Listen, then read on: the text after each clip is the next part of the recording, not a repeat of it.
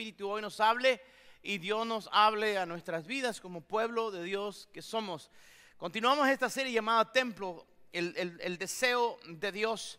Y vamos a continuar porque, ¿sabe? Yo nunca pensé que iba a hacer eh, esta serie tan larga. Vamos hasta en el mensaje número 6. Se lo voy a decir algo ahora mismo. Nos, nos quedan como dos mensajes más.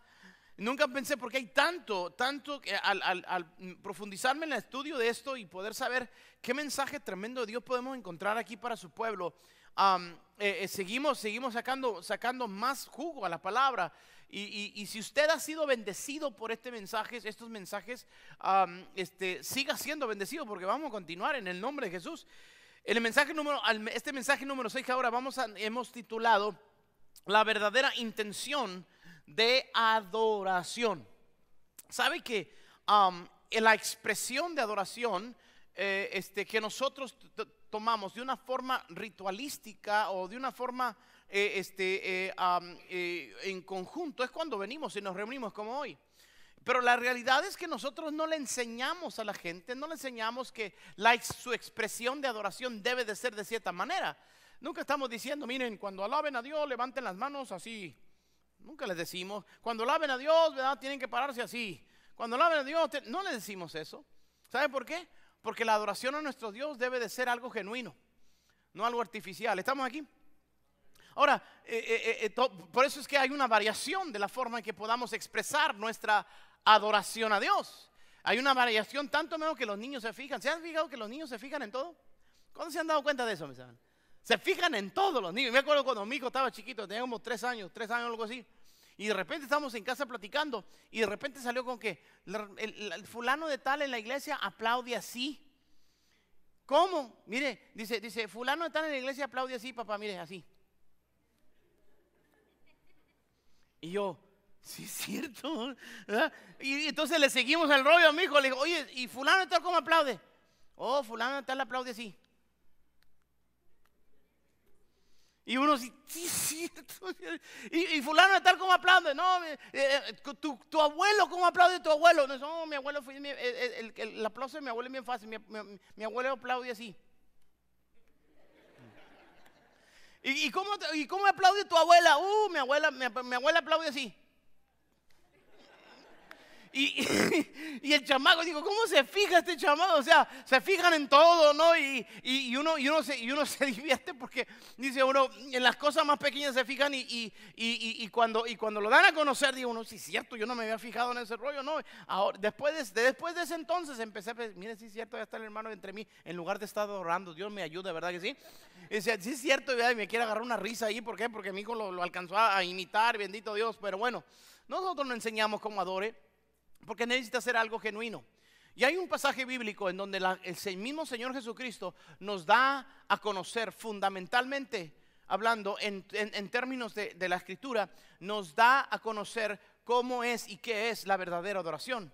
Miren, Juan capítulo 4, versículos 23 al 24 dice así, Jesús hablando en esa conversación que tuvo con una mujer de Samaria, dice, pero se acerca el tiempo, de hecho, ya ha llegado cuando los verdaderos adoradores adorarán al Padre en espíritu y en verdad. El Padre busca personas que le adoren de esa manera, pues Dios es espíritu, por eso todos los que le adoran deben hacerlo en espíritu y en verdad. Aquí se encuentra una, un, un principio bíblico acerca de nuestra adoración y nuestra adoración, lo que debe de ser para la gloria de Dios. Y cuando hablamos entonces debe de ser que algo genuino, debe de ser algo verdadero, debe de ser algo, algo que realmente es. El Señor le llama en espíritu y verdad. Y quiero que ho- hoy en esta hora podamos reconocer ese hecho de que si nosotros somos el pueblo de Dios y hemos de adorar a Dios, noten lo que dice, el Padre busca quien lo adore de esta manera. Y no está hablando de una manera en particular, de una forma en particular, no está hablando de una forma de expresión en particular, le está diciendo, está diciendo, de este es el fundamento del cual la persona, como quiera que sea, donde quiera que esté, se exprese, debe de ser en espíritu y verdad. Ahora, quiero que mantengan este pensamiento mientras regresamos de nuevo a la historia del pueblo de Israel en relación al templo.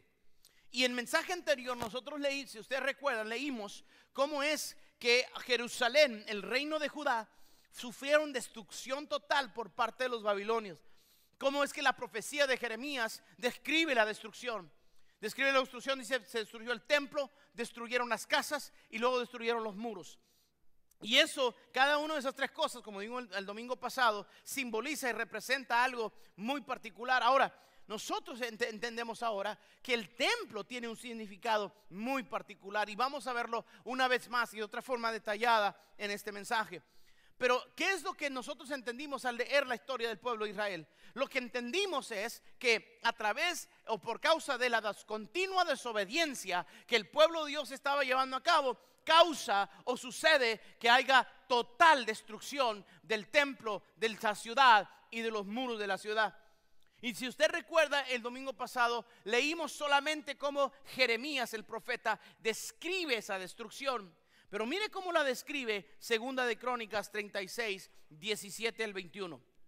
Fíjese lo que dice. Y cuando estemos leyendo estos pasajes bíblicos, quiero que ponga atención a la letra que está un poquito más oscura, porque ahí es donde va a estar basado la enseñanza y el mensaje que hoy podemos nosotros eh, recibir de parte del Señor. Dice así, entonces el Señor hizo marchar contra ellos al rey de los caldeos que pasó a cuchillo a sus jóvenes en el propio edificio del templo y no tuvo piedad de los jóvenes, ni de las muchachas, de los ancianos, ni de los inválidos.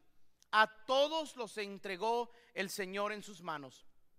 Todos los utensilios del templo de Dios, grandes y pequeños, y los tesoros del templo del rey y de sus funcionarios, todos se lo llevó el rey de los caldeos a Babilonia.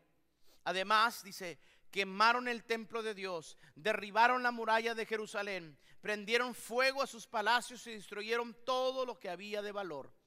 Después desterró a Babilonia a los sobrevivientes de la matanza, donde se convirtieron en esclavos suyos y de sus hijos hasta que se estableció el imperio persa, para que se cumpliera lo que Dios había dicho por medio del profeta Jeremías Así el país debía disfrutar en su reposo, porque descansó todo el tiempo que estuvo en ruinas, hasta que pasaron 70 años.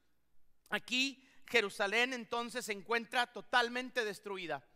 Y dice la escritura aquí en Segunda de Crónicas que duró 70 años en esa condición que había un eh, había, había eh, el, el, rey de Babilonia había mandado destruir todo. Y noten esto, que aquí habla de una masacre, de que los jóvenes y jovencitas, ancianos e hasta inválidos fueron masacrados dentro del templo de Dios.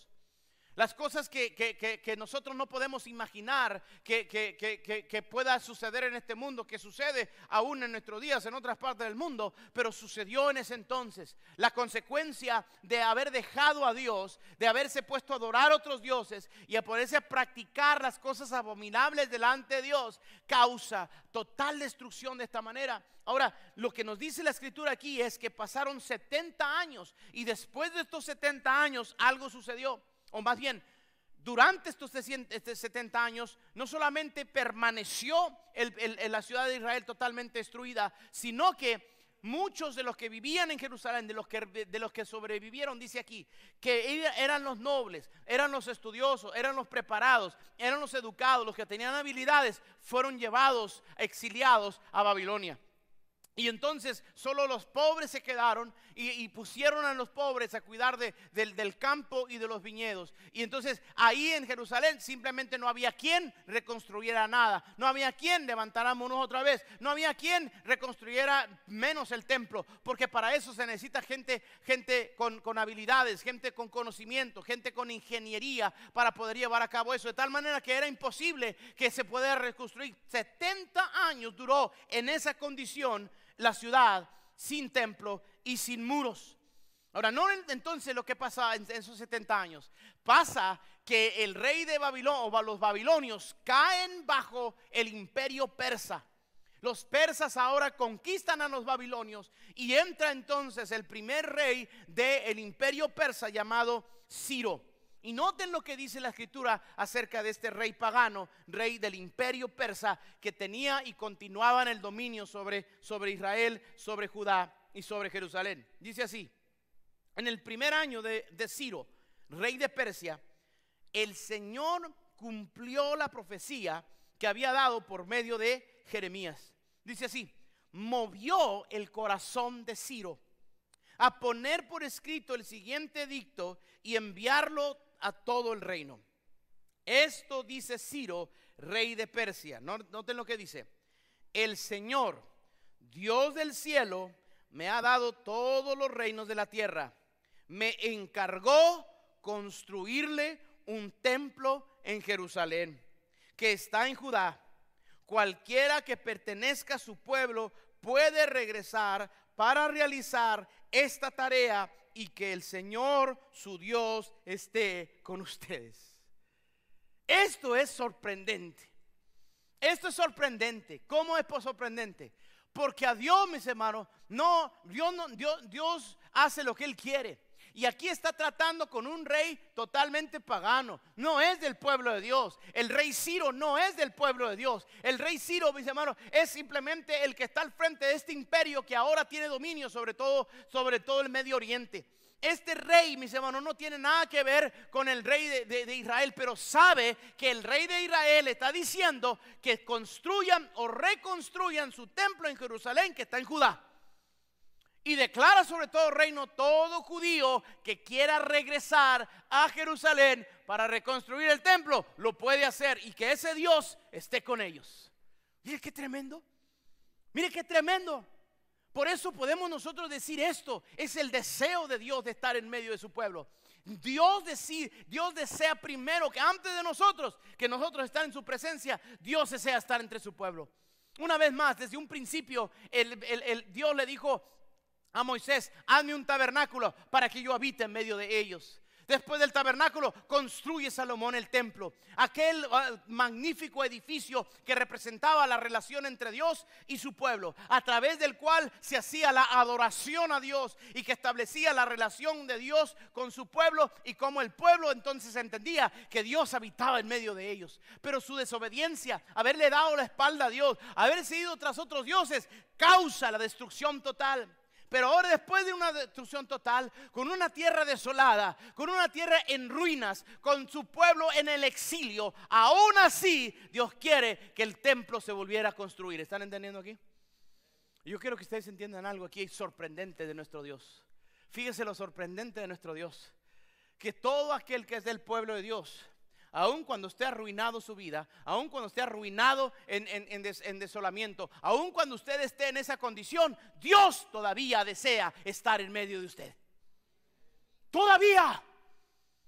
Todavía, ¿por qué? Porque estamos hablando de un pueblo que se había olvidado de Dios, causa de destrucción, esa desobediencia. Ellos están por allá en Babilonia, allá están eh, eh, eh, exiliados, no hay nada, este, solamente los pobres en Jerusalén. Y Dios mueve a ese rey pagano. Y Dios dice, es más, el rey, el, el profeta Isaías dice así, miren, Isaías 44, 28, hablando del rey Ciro, dice, yo le digo a Ciro, tú eres mi pastor tú harás todo lo que yo quiero. Y le digo a Jerusalén, tú serás reconstruida y al templo se pondrán tus cimientos. ¿Quiere que tremendo, mis hermanos? O sea, Dios, Dios desea estar todavía en medio de su pueblo, aun cuando su pueblo le falla. No sé si estás entendiendo aquí.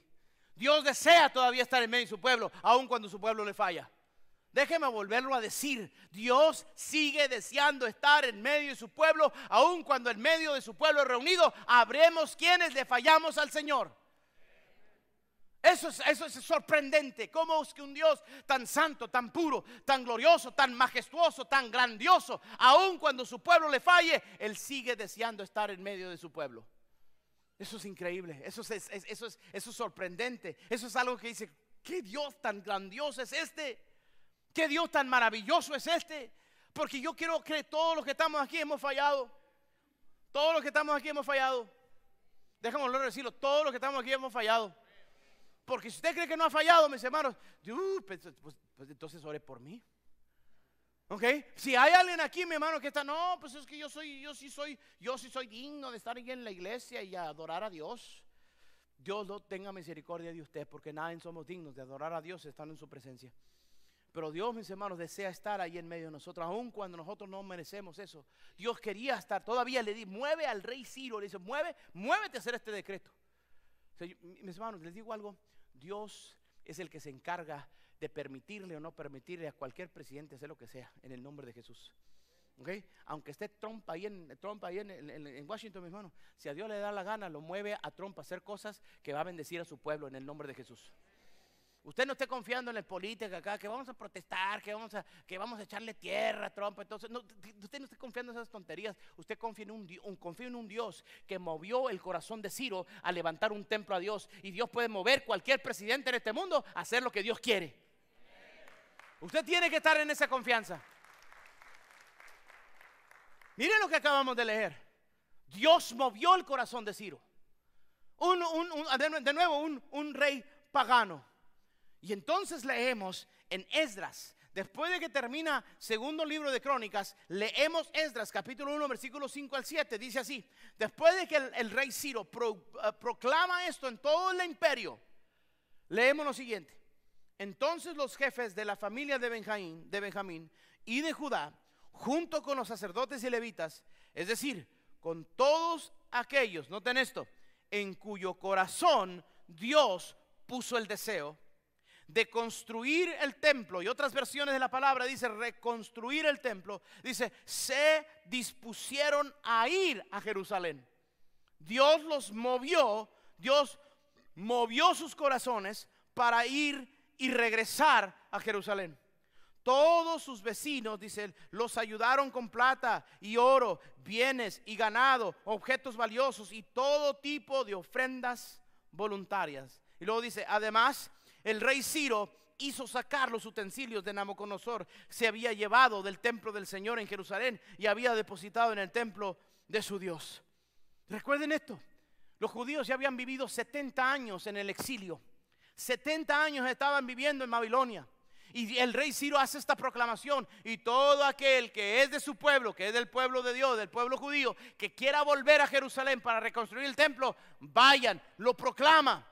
Y entonces todos los judíos que están en Babilonia, y si usted va a un mapa y mira con dónde está, dónde está ahora lo que es Irak, y mira dónde está Israel, usted se da cuenta que tres mil años atrás de viajar de donde ahora es Irak a donde ahora es eh, Israel, usted, usted entiende que esto tomaba mucho tiempo. No era de, ir, salir hoy y llegar a la tarde. Era, era, eran meses lo que duraban en camino no, estaba lejos. Y, la razón es que tienen que darle vuelta al desierto del Sahara que está en medio de Arabia. Hay una vuelta que tienen que dar por el norte para llegar hasta Israel. De tal manera que el regresar a Jerusalén no era cualquier cosa. Por lo tanto, mis hermanos, la Biblia aquí nos dice que aquellos cuyo corazón Dios puso el deseo de reconstruir el templo. Dios pone el deseo en algunos de regresar para reconstruir el templo. El deseo de Dios sigue siendo estar en medio de su pueblo a pesar de que su pueblo le falla. Déjeme volverlo a decir, el deseo de Dios sigue estando ahí a pesar de su que su pueblo le falla. Y en el nombre de Jesús, hermano, ahora el Señor puede hacer en nuestras vidas ahora una conclusión de decir esto, Señor, que nunca yo deje de adorarte a ti, porque seas tú el que me mueves a hacerlo. Te voy a decir por qué, mi hermano. Porque aquí se está hablando algo de que es Dios el que mueve el corazón. No es, no, y, noten esto, al principio no es ni los mismos judíos que, hacen un esfuerzo para reconstruir el templo. Es el rey de, Persia que dice, Dios me dijo que deben de ir a reconstruir el templo. Y los que, se, y, los que, y los que van a regresar son los que Dios los mueve a hacerlo. Dios los mueve a hacerlo que, tenemos que entender algo aquí, mis hermanos. La adoración genuina, cuando el Señor dice en espíritu y verdad, es porque el Señor nos mueve a adorar al Señor. No es porque es una costumbre, no es porque es lo que hay que hacer. Es domingo, pues vamos a la iglesia. Ah, estamos ahí, pues hay que, hay que cantar. Ah, estamos sentados, hay que sentarnos. Ah, hay que estar de pie ahora. No es algo automático, no es algo que se hace porque esa es la costumbre. No es algo que se hace porque vemos a los demás hacer. Es algo que se hace porque el Espíritu de Dios nos mueve a adorar a Dios en espíritu de verdad. No podemos nosotros estar pensando que debemos de estarnos picando el uno en el otro. Alaben, canten, ándele, levanten manos. El equipo de alabanza hace su función, nos anima a cantar, pero realmente, mis hermanos, quien nos mueve a cantar, que sea en espíritu de verdad, es Dios. Es Dios. No otra cosa, no alguien más. Yo los puedo animar. Yo les digo, yo les digo, todo aquel que pongámonos de pie, vénganse al altar, vamos a orar. Es ánimo, ánimo, ánimo. Se lo estamos haciendo guiados por Dios. Eh, y usted, Dios lo mueve a hacerlo. Muévase porque Dios lo mueve a hacerlo, no porque alguien le está picando que lo haga.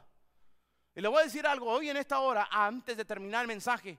Yo no voy a decirles que se pongan de pie. Yo no voy a decirles que pasen al, altar. Yo no ni siquiera les voy a estar diciendo que estén en pie a cantar. En el nombre de Jesús, permita que su corazón sea movido por Dios. Permita que su corazón sea movido por Dios. Otra vez, permita que su corazón sea movido por Dios. Porque esto no, es, esto, no, e, esto no es práctica, esto no es costumbre, esto no es algo que se recita, esto no es algo que se practica, esto es algo que se hace porque Dios nos mueve en el corazón y eso es en espíritu y verdad. Fíjese bien, vamos a recordar a través de esta serie qué es lo que representa el templo. El templo significa algo profundo para el pueblo de Dios. El templo significa, simboliza y representa, primer punto, la presencia de Dios entre su pueblo. La presencia de Dios entre su pueblo. Una vez más, todo aquel que un día recibió a Cristo en su corazón, que ha hecho de Jesús el Señor de su vida, que ha experimentado un nuevo nacimiento en su vida, y les puedo decir algo en esta hora, mis hermanos. Escuche bien lo que le voy a decir. Para aquellos que hemos crecido en la iglesia es difícil darnos cuenta si hemos nacido de nuevo o no. ¿Sabe por qué? Porque gracias a Dios tuvimos padres que nos, que nos detuvieron y nos inculcaron el temor de Dios para no envolvernos en, cosas del mundo, del cual, mis hermanos, eh, cuando la gente ha estado en el mundo, ahí es donde se nota una verdadera nuevo nacimiento, porque ya no quiere hacer lo mismo que hacía antes. Pero nosotros que hemos crecido en la iglesia es difícil. Es difícil, pero lo voy a decir que es lo que a mí me trajo entendimiento, que había un nuevo nacimiento a mí. Yo me entregué a Cristo a la edad de 13 años, 13 años. Pero antes de los 13 años, mis hermanos, ¿cómo me caía mal mi papá que se tardaba más de una hora predicando? Más cuando vivíamos en Tijuana, mi papá pastoreaba una Tijuana allá en la colonia del río Parte Alta. ¿Cuántos tijuanenses hay aquí? ¿Qué pasó, mis hermanos? No se, no se ofendan, no se, no, se, no se avergüencen. Somos tijuaneros, bien tijuanenses, de, con todo y polvo y piedras, pero somos de Tijuana. Especialmente días de, verano, cuando el sol se pasaba, mis hermanos, los chamacos salían a jugar fútbol en las calles. ¿Cuántos se acuerdan del fútbol en las calles, mis hermanos? Que la portería era el poste de la luz y el perro echado. ¿Cuántos se, acuerdan? ¿Se acuerdan de los partidos de fútbol allá? Y yo quería salir a jugar y mi papá, no, usted en la iglesia. Y luego digo, ojalá se termine el servicio todavía, que se termine temprano, cuando todavía está el sol, porque todavía están, están, jugando. Se termina el servicio, voy a poder salir a jugar y voy a decir, voy a meterme con el equipo que va perdiendo para hacerlos ganar. Eso es lo que piensa uno, cuando, eso es lo que piensa uno de chamaco, ¿no es cierto? ¿Y sabe, sabe qué pasaba? Predicaba más largo mi papá. He would preach longer, man. I was like, man. Yo quería jugar. Pero ¿sabe qué? Todas esas cosas. Ah, y ¿sabe lo que, lo que hacía también? se lo estoy confesando aquí, mis Andaba buscando chinches, esas chinches que se ponen ahí, para ponerlos en las sillas a ver quién se, a ver, quién se, se picaba. Y de repente me sentaba con chamacos, hermano, y, y, y, de repente decía, mira aquel hermano, mira aquel hermano cómo salta, cómo, cómo salta, mira cómo salta. Y, uno yo, es cierto. Ya estamos, mire, así. Cuando le da una risa que no se debe de reír uno, ¿ya sabe lo que estoy hablando? Que esa es la risa más sabrosa, ¿no es cierto? Cuando está, un lado, cuando está usted en, un lado donde no se puede reír, está así, así. El problema era que se daba cuenta mi mamá, entonces me daba el 360, así, mire. Aquí. Y entonces sí se me quitaba la risa, obviamente. Pero yo me di cuenta del nuevo nacimiento en mi vida porque a la edad de 13 años, después de eso, yo quería estar en la iglesia. No porque mis padres me obligaban, no porque mis padres me estaban diciendo, ay te quiero. Yo quería estar allí. Yo no podía estar, eh, yo, necesitaba estar allí. Es difícil para nosotros que hemos crecido en la iglesia. ¿Por qué? Porque no, no, no teníamos vicios. Yo no sé lo que es una cerveza, yo no sé lo que es fumar, yo no sé nada de esas cosas. Nada. Porque mis padres me trajeron bien cortito. Pero sé que una de las cosas en mi vida cuando yo volví a nacer, en mi nuevo nacimiento en Cristo Jesús, que aunque yo crecí en la iglesia, yo no quería estar en la iglesia. A mí se me hacía aburrido, a mí, a mí no me, a mí estaba, si me dejaban andar fuera, mejor para mí. Pero el día, a la edad de 13 años que yo me entregué a Cristo, a mí no me necesitaban decir que yo debía estar en la, en la iglesia, yo ahí quería estar. ¿Están entendiendo? Cuando hay un nuevo nacimiento en ti, tú eres parte del pueblo de Dios. Tú te conviertes parte del pueblo de Dios. Dejemos volverlo a decir, tú te conviertes en parte del pueblo de Dios cuando en Cristo Jesús experimentas un nuevo nacimiento. Todo aquel que ha experimentado lo que acabo de decir, levante su mano y dice, yo soy del pueblo de Dios. Levante su mano, yo soy del pueblo de Dios. Todos son del pueblo de Dios. Si usted puede levantar su mano rápido y decir, yo soy del pueblo de Dios, esto es para nosotros. ¿Qué, pastor? Que el templo significa, simboliza y representa la presencia de Dios entre su pueblo. Dios está aquí. Y cuando se reúne el pueblo que tiene a Cristo en su corazón, la presencia de Dios está en este lugar. Y debemos de estar listos para adorar a nuestro Dios siempre. ¿Para qué? Para que la gente que no tiene al Señor, no se ha convertido, no ha experimentado su nuevo nacimiento, sepa que ha llegado a un lugar donde da el Dios presente. Y donde da Dios presente, aquí hay paz, aquí hay fortaleza, aquí hay ánimo, aquí hay vida, aquí hay, aquí hay esperanza, aquí te levanta. Donde está el Señor hay libertad. Y donde está hay libertad, mi hermano, hay todo eso. El pueblo de Dios cuando se reúne debe reunirse para adorar en espíritu y verdad. Y cuando nos reunimos a adorar en espíritu y verdad, la presencia de Dios se empieza a sentir en este lugar. Mi oración, nuestra oración es, Señor, que tu presencia entre nosotros esté cada vez más potente, más palpable, más entendible, que para cualquier persona que entre por esas, por esas puertas, sean nuestros jóvenes que no quieren venir, que vienen a puro renegadientes, ¿verdad? Personas que digan, ah, pues voy a ver qué onda. Quien sea que no vengan con esa intención, sepa que Dios está aquí y no hay otra cosa que pueda hacer más que humillarse de la presencia, porque el glorioso, bendito y poderoso Dios está aquí en medio de nosotros. ¿Sabe por qué en veces no se siente la presencia de Dios, mi hermano? Porque los que tienen a Cristo no están adorando. Porque los que tienen a Cristo no están adorando. Su mente, su cuerpo está aquí, pero su mente está, hasta allá en, Tijuana, mis hermanos, todavía. Yo no sé dónde están. Porque los que están aquí, mis hermanos, no están aquí, están durmiéndose en los, los cristianos, mis hermanos. Los que tienen a Cristo en su corazón. En lugar de estar adorando, están haciendo otra cosa, están en otro rollo. Pero les quiero decir ahora a todos los que son del pueblo de Dios, que después de hoy en adelante usted le puede decir, Señor, muéveme a adorarte siempre, porque tu palabra nos dice que tú estás en donde está en medio, en medio de tu pueblo. Y si estás en medio donde está en medio de tu pueblo, nosotros debemos de instigar, debemos de cultivar, debemos de, provocar la presencia de Dios sentida en la, en la persona que quizás nunca la haya sentido. Ese es el glorioso entendimiento de lo que nosotros podemos reconocer. La, significa, simboliza y representa la adoración a Dios por su pueblo.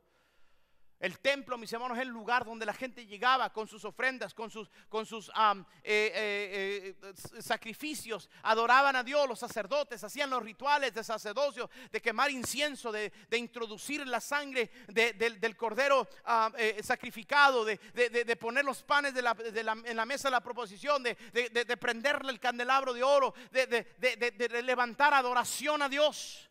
El templo representaba eso y una vez más todos aquellos que son del pueblo de Dios, escuche bien, cuando nos reunimos está el templo aquí y Dios está aquí nosotros. ¿Por qué? Porque vivimos en diferentes áreas de la ciudad, pero si usted es del pueblo de Dios, en donde el pueblo se reúne, ahí está el Señor de una forma especial.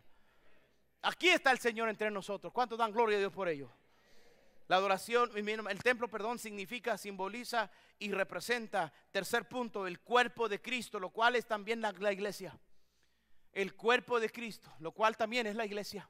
El templo representa el cuerpo de Cristo. Recuerden que cuando Jesucristo, mi hermano, llegó al templo, sus discípulos le dijeron, mira Señor, el gran templo que está aquí en Jerusalén. El Señor dijo, este templo será destruido y en tres días lo voy a volver a levantar. El Señor eh, dice en su palabra, Él no se estaba refiriendo al templo, a la estructura, Él se estaba refiriendo a su propio cuerpo, que iba a ser destruido, pero se iba a levantar y resucitar al tercer día. Sin embargo, el Señor relaciona su cuerpo con el templo. ¿Están entendiendo? La otra cosa que la palabra de Dios nos dice es que el cuerpo de Cristo es la iglesia. Y todo aquel que levantó la mano ahorita diciendo, yo soy de parte del pueblo de Dios, es la iglesia del Señor. Por lo tanto, nosotros, mis hermanos, entonces entendemos que el templo significa, representa y simboliza la iglesia del Señor, los pueblos reunidos, todos aquellos que somos el, cuerpo de Cristo, que es la iglesia. Y el punto número cuatro, el cuerpo de cada creyente cristiano. El templo significa, simboliza y representa el cuerpo de cada creyente cristiano. Porque la palabra de Dios también nos dice, el apóstol Pablo dice, ¿no saben ustedes que su cuerpo es templo del Espíritu Santo? Su cuerpo es templo del Espíritu Santo. Todo aquel que levantó la mano y dice, yo soy parte del pueblo de Dios. Y un día te entregaste a Cristo y un día hubo un nuevo nacimiento en tu vida. Y tú sabes muy bien que el Señor entonces te salvó y tú eres parte del pueblo. Tu cuerpo es templo del Espíritu Santo. Y por lo tanto tenemos que cuidarlo. Tenemos que cuidarlo. En el nombre de Jesús usted tiene que cuidarlo. ¿Sabe, sabe mi hermano? Debemos de saber que, nosotros debemos de vivir, de cuidar nuestro cuerpo. Estoy hablando, mis hermanos, de, lo saludable, mis hermanos. Estoy hablando de eso, gracias a Dios. Antes cuando yo pesaba una tonelada no podía predicar esto, mi hermano. Porque si yo predicaba esto, y usted que no está diciendo que usted, usted está bien gordo de tomo. Pero ahora sí, mi hermano, todavía estoy, pero no tanto, gloria a Dios. Pero debemos de cuidarlo del templo. ¿Qué, le echamos, qué le, qué le metemos al cuerpo? ¿El ojo? No, ya, ya, no le gustó, ¿verdad? Debemos de cuidar este cuerpo, mis hermanos. Porque ¿sabe qué? Es el único que tiene. Y segundo, es el templo de Dios. Es el templo de Dios. Usted debe cuidar lo que le mete a ese cuerpo, mis hermanos. En el nombre de Jesús. Mire, mi hermano, el café CDO, mis hermanos, café CDO, ¿sabe qué? Al, principio, hace mucho, vendían ensaladas con fruta, con, fresas y, blueberries y, pedacitos de pollo sin grasa, lechuga, ensalada. ¿Verdad que sí, Jenny? ¿Verdad que vendían ensaladas? ¿Saben por qué ya no venden? Creo que sí, ¿verdad? ¿Sabe lo que más venden? Carne asada, fries. Bendito Señor Jesús, mi hermano. Tiene uno que cuidar su cuerpo, mi hermano pastor. Pues usted no se. Mire, mi hermano, yo me levanto a las 7 de la mañana y me subo a una caminadora una hora. Y usted dirá, no parece, pero por lo menos estoy echando ganas, mis hermanos. Y, alguien, dice, pastor, pero yo lo he visto que se avienta unas tortas del tamaño así del CDO. ¿Sabe por qué me lo aviento, mi hermano? Porque en el desayuno lo único que comí son dos malteadas de proteínas. En el lonche lo único que comí fue una barra de proteína. Y al, último me quedan como todavía como mil calorías que me puedo aventar una torta. Así que cuando me vea comiendo sabroso, no, no, que lo estoy diciendo todo el día. Me ahorré las calorías que me sobraban ese día. No estoy para contárselo, para decírselo, porque ya se lo dije. Pero su templo es el cuerpo del Espíritu Santo, mi hermano. Y usted debe cuidar lo que entra a su cuerpo por los ojos, lo que entra a su cuerpo por los oídos y lo que está haciendo usted con su cuerpo. Usted debe de estar, tener mucho cuidado con eso. ¿Sabe por qué? Porque el apóstol Pablo le dice a la iglesia, no saben que su cuerpo es templo del Espíritu Santo. ¿Sabe por qué? Porque la iglesia empezaba, estaba en veces involucrándose en las acciones de los paganos. Y eso era meterse con prostitutas. Eso era estar andar de fornicarios, mis hermanos. Y el, apóstol Pablo le dice a la iglesia, ustedes deben de dejar de hacer eso porque su cuerpo es templo del Espíritu Santo. Y cuando ustedes hacen esas prácticas, están contaminando su cuerpo. ¿Estamos aquí? Pero no solamente en lo espiritual, solamente en lo físico, no en lo saludable. Su cuerpo es templo del Espíritu Santo. Otra vez, su cuerpo es templo del Espíritu Santo. Si usted está haciendo algo con su cuerpo, usted debe estar seguro que el Señor quiere que usted lo haga. ¿Estamos aquí? No porque es moda, no, es moda tatuarme, no porque es moda eh, ponerme esto, ponerme acá, quitarme acá y ponerme acá, no porque es eso, mi hermano. Usted debe de saber que su cuerpo es templo del Espíritu Santo y si hace algo con ello es porque el Espíritu Santo quiere que lo haga para la gloria de Dios. ¿Estamos aquí? Porque quedaron muy calladitos ahorita, mis hermanos. Ay, pastor, yo que me quiere hacer botax en las trompas. Y los botax en las trompas, mis hermanos, es para alabarle mejor al Señor. ¿No han visto las pobres mujeres, mis hermanos? Así andan.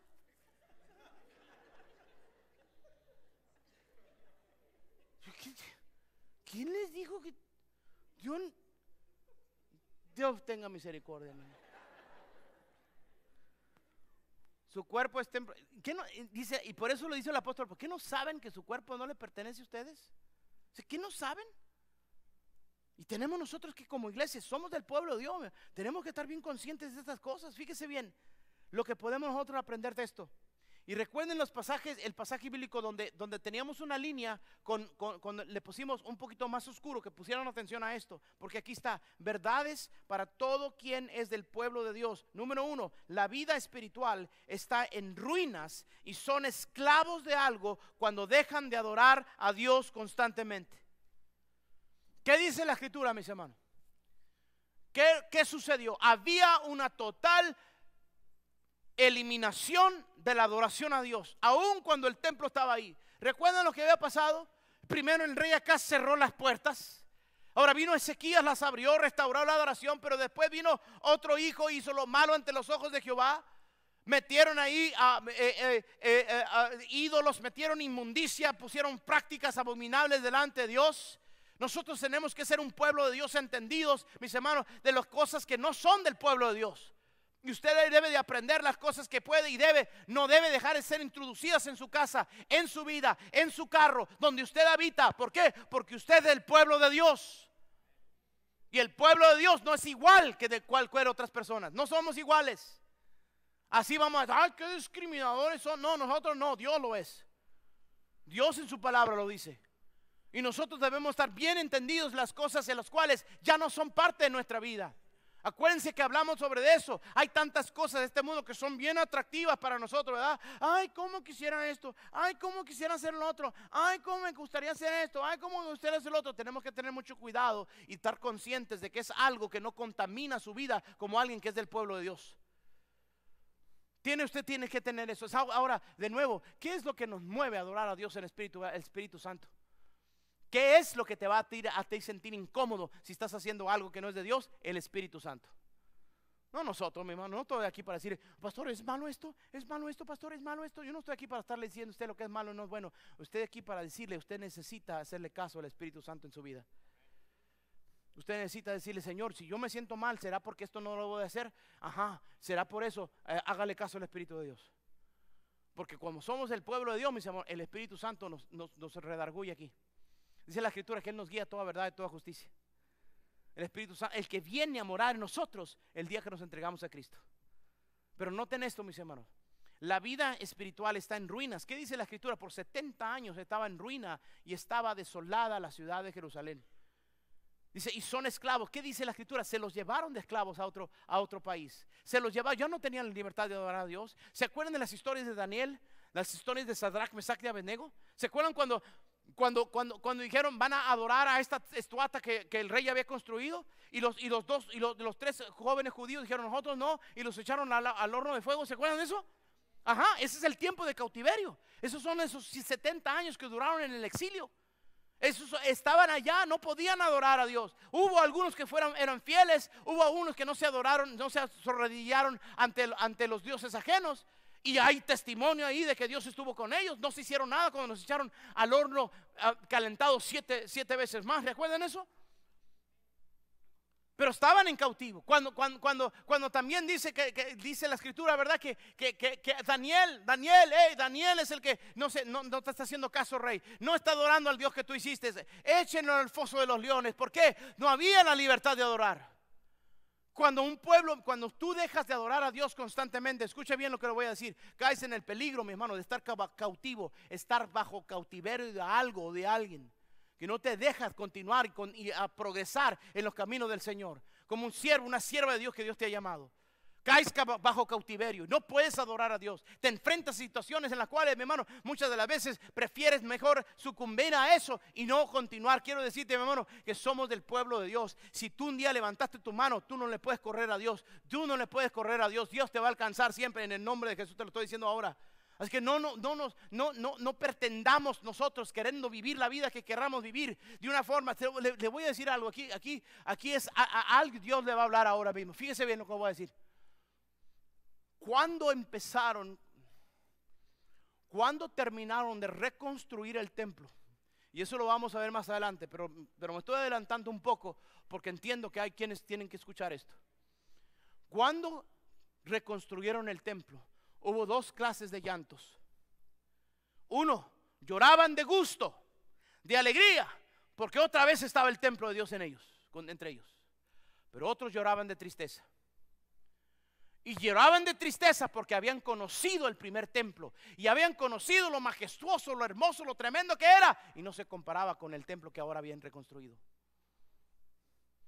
Y yo quiero decirte en esta hora, ¿cuál de los dos lloridos tú quieres hacer? ¿De llorar de felicidad porque tú estás adorando al Señor? y tienes adoración a Dios genuina que Dios te ha movido a hacer, o te vas a poner a llorar porque nunca más pudiste adorar a Dios como lo hiciste antes. ¿Cuál de los dos? Yo creo que hoy Dios está hablando, nos está hablando a nosotros y nos está diciendo que Dios todavía desea desea estar en medio de su pueblo y que tú desees estar en medio de su pueblo y desees estar de la manera en la cual Dios desea que te trae, que te bendiga, que te llene, que hermano, que la venir a la iglesia, que el adorar aquí no sea por costumbre, no sea por cumplir, no sea para que te vaya bien, no sea porque, no sea, no sea porque si, si no lo haces te va a ir peor y tienes temor a que te vaya mal. No, eso no es adorar en espíritu de verdad. Adorar en espíritu de verdad es porque Dios te mueve en el corazón, es que Dios te pone a hacerlo, es que hay un sentir en ti, dice, yo lo voy a hacer y cuando hay ese sentir, no hay nada que te detiene, no hay nada que te va a estorbar. Tú haces un lado todas las cosas, tú te vienes a adorar a Dios. Cuando Dios te mueve. Segundo, verdad, es Dios quien mueve el corazón para que haya acción hacia el establecimiento, a renovación o renovación de la adoración a Dios. Es Dios el que nos mueve mueve el corazón. ¿Qué dice la escritura, mi hermano? Dice la escritura, con todos aquellos en cuyo corazón Dios puso el deseo de reconstruir el templo. Dios es el que nos mueve a hacer lo que hay que hacer para que haya adoración a Dios. Todos estos sugieres que están aquí sirviendo, todos los sugieres que estaban aquí antes, que llegaron antes de las 8, que pues, estuvieron mapeando los pasillos, que estuvieron barriendo las entradas de las puertas, que estuvieron prendiendo los aires para aquí, que no estuviera tan, tan caliente adentro, que prendieron los aires de antemano en el cunero, en las clases. Todos los que estuvieron haciendo aquí son los que Dios mueve para que haya adoración a Dios. ¿Ustedes creen que los muchachos que están aquí, mis hermanos, nada más vienen y se presentan para tocar? No, están aquí el viernes en la noche o el sábado en la mañana, están ensayando para que les salga bien la alabanza, para que usted adore a Dios la mejor forma posible. ¿Por qué lo hacen? ¿Les pagamos? No. ¿Por están aquí porque algo tienen que ganar? No, porque Dios los mueve. Dios los mueve a hacerlo todo lo demás que está sucediendo para que usted y yo podamos llegar y adorar a Dios, alguien más lo tiene que preparar. Alguien más está aquí antes. Alguien más acomoda las sillas. Alguien más mete la aspiradora. Alguien más prende los aires. Alguien más lo hace. Esos son los que Dios mueve en acción para promover la adoración a Dios. Y le digo lo siguiente, mis hermanos. Gracias a Dios porque aquí hay varios. Pero estamos orando para que haya más. Otra vez, para que haya más. En el nombre del Señor estamos orando para que haya más. Noten esto, mis hermanos, que el Dios es Dios quien mueve el corazón para que haya acción hacia el establecimiento o la renovación de adoración a Dios. Porque hay algunos que están siendo establecidos su adoración a Dios. Apenas están comenzando, llegando a la iglesia. Y hay que prepararse esto para ello. Y hay otros que están renovando su adoración, que han pasado por un tiempo de desolación, en un tiempo de ruina y que están volviendo a entrar a empezar a adorar a Dios. Y yo les digo algo, si tú estás volviendo después de un tiempo que no adoraste a Dios, sea, sea, sea tu adoración a Dios más de lo que fue antes. Porque si nosotros nos damos cuenta lo bueno, lo misericordioso, lo increíble que es Dios, que a pesar de las cosas que nos hayamos metido, a pesar de las cosas que nos hayamos envuelto, a pesar de las cosas que todavía estemos, que Dios nos libre de, vivir las consecuencias, mis hermanos. A pesar de eso, Dios quiere que estés aquí donde está su pueblo. Que Dios nos mueva a hacerlo. Que Dios nos mueva el corazón a hacerlo. Y número tres, como verdades para todo quien que es el pueblo de Dios. El deseo genuino de contribución para lo que significa, simboliza y representa el templo de Dios, solo lo pone Dios. El deseo genuino para contribuir solo lo pone Dios. Dejemos volverlo a decir. El deseo genuino de contribución para lo que significa, simboliza y representa el templo de Dios, solo lo pone Dios. De contribuir para ello. de contribuir. ¿Cómo podemos contribuir para la adoración a Dios? ¿Cómo? Tres formas. Letra A, trabajando directamente con sus manos, talento y habilidades para la adoración a Dios. Trabajando. Tenemos habilidades, tenemos conocimiento, lo ponemos en acción para la adoración a Dios. Los que volvieron de Babilonia, mis hermanos, tenían conocimiento, eran arquitectos, eran ingenieros, eran constructores, eran personas que estaban listos para administrar, eran personas que tenían habilidades de contabilidad, que tenían habilidades de, organización, que tenían habilidades, era gente, era, era gente capaz. Y los movió Dios a que regresaran a Jerusalén por decreto del rey. Hay quienes contribuyen a la adoración a Dios. ¿Para qué? Para que su pueblo adore. Lo hacen con el trabajo, lo hacen con sus manos, lo hacen con sus habilidades.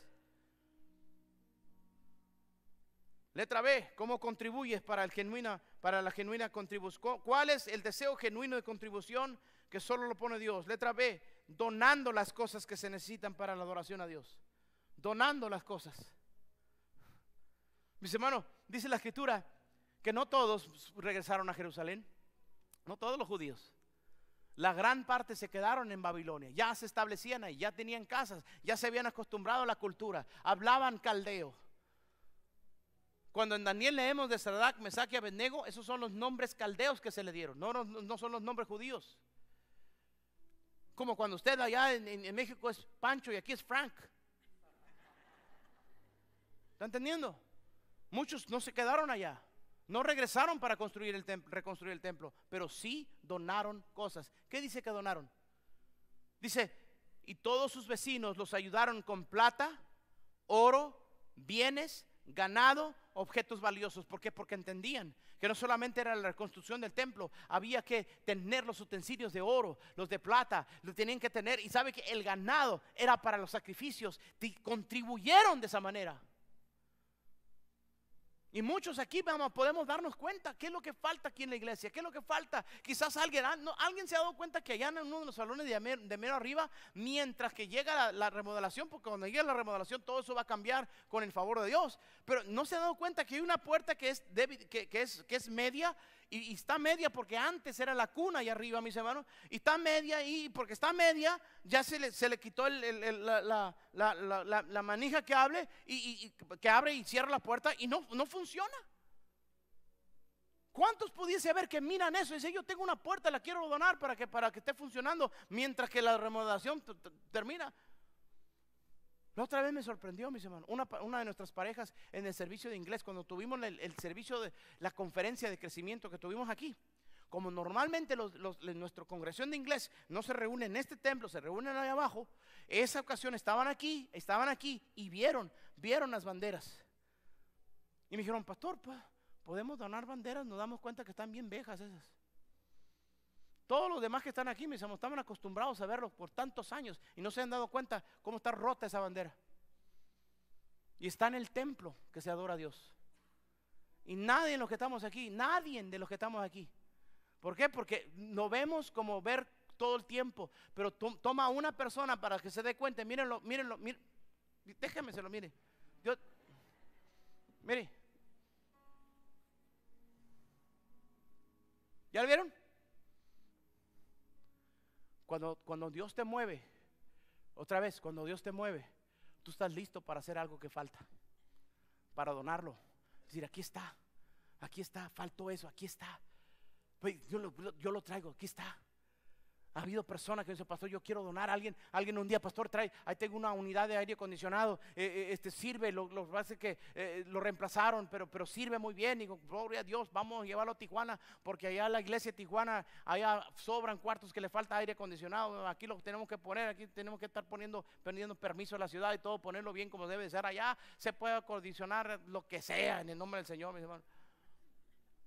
Pero aquí están, la gente dona paz cosas. La gente, ¿para qué? Para la adoración a Dios. Otra vez, para la adoración a Dios. Otra vez, para la adoración a Dios. Puede decir, pastor, ¿y para qué queremos banderas para adoración a Dios?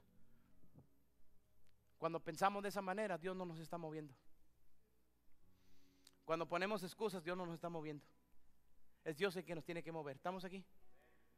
¿De qué otra forma se contribuye? Letra D, C, perdón dando el recurso de dinero para pagar lo necesario para la adoración a Dios. ¿Qué dice ahí, mis hermanos? Todos sus vecinos los ayudaron con plata, oro, bienes y ganados, objetos valiosos y todo tipo de ofrendas voluntarias. ¿Por qué, mis hermanos? Porque hay que pagar lo que se paga. Para adorar a Dios hay que pagar. No sé si estamos aquí, mis hermanos. ¿Usted cree que la compañía de luz y gas, mis hermanos, nos regala? ¿Usted cree que podemos ir, mire, le vamos a donar estas sillas extras por, en cambio de pagar la luz y gas? No, mis hermanos, cobran por la luz y el gas que se, usa aquí.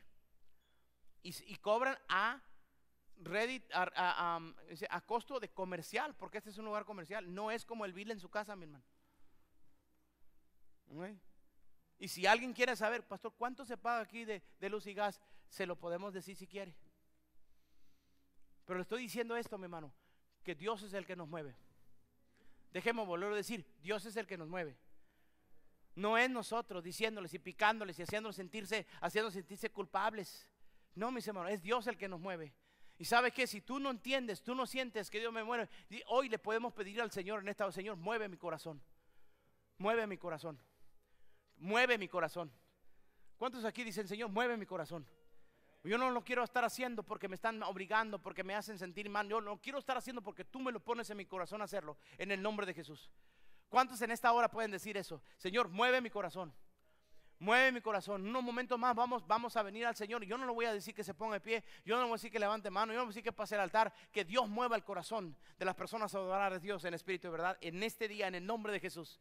Quiero terminar diciendo lo siguiente, mis hermanos. El deseo de Dios sigue siendo, a pesar de todas nuestras fallas, derrotas y aún ruinas, el deseo de Dios sigue siendo estar entre su pueblo. Como pueblo de Dios tenemos la esperanza y certeza de que Dios sigue deseando estar entre su pueblo. Y no solo eso, Dios es quien mueve nuestro corazón hacia la adoración y hacia la genuina contribución para que la adoración genuina se dé por eso podemos aprender, mi hermano, que nuestro Señor Jesucristo hablaba de una adoración verdadera y genuina en espíritu y verdad.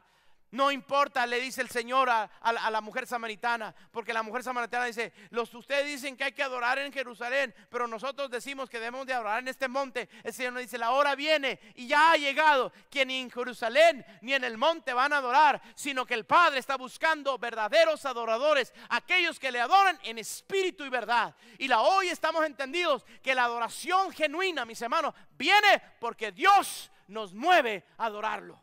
Y que en esta hora haya quienes digan, Señor, ayúdame, yo quiero adorarte de esta manera. Yo no quiero adorarte porque tengo que, yo quiero adorarte porque tú me mueves a hacerlo.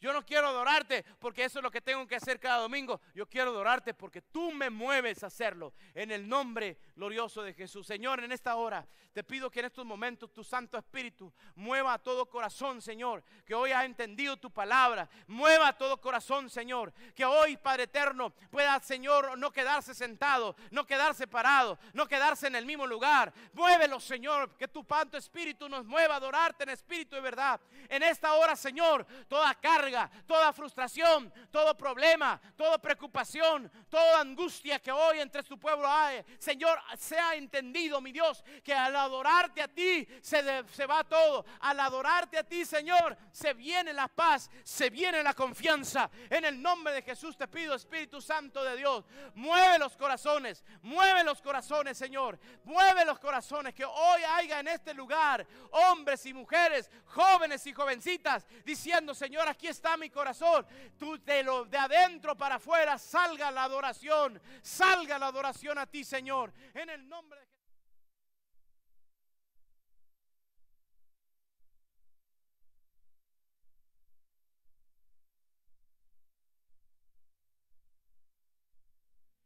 Gracias tuya, Señor, me levante en esta hora. Dios eterno.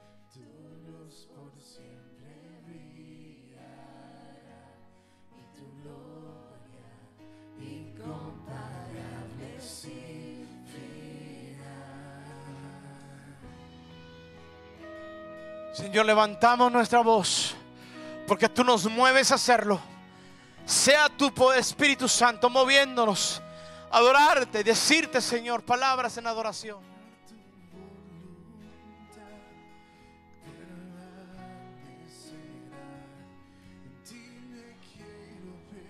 Dígaselo en adoración.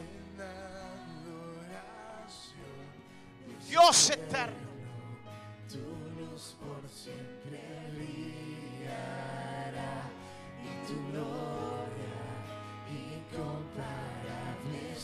Sin final. En mi corazón. Vamos.